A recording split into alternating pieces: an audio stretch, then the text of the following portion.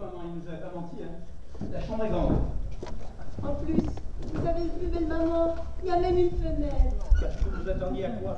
À Fleury-Mérangie D'où nos résidents sont très satisfaits des chênes blancs. Et ici La salle d'eau privative. Avec toilette. C'est très propre, rien à dire. Et vue sur le parc,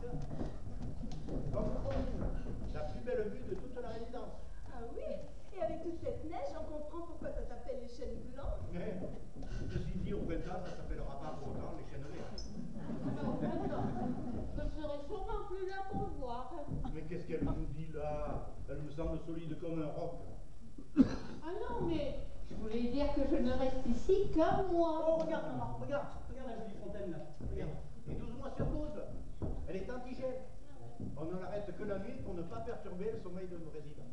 Et surtout, il n'est pas, pas toujours envie d'avoir quelque chose perdu.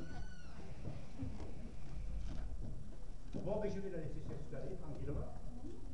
Le règlement de la résidence, les heures des repas, les heures des visites, les manifestations, tout est inscrit là-dessus. Nous le lirons attentivement, merci pour tout.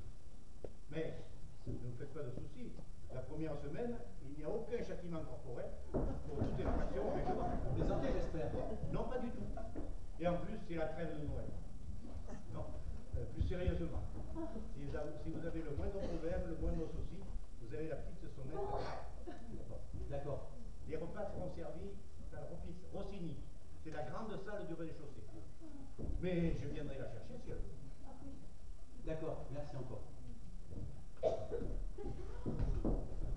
Vous avez entendu, belle maman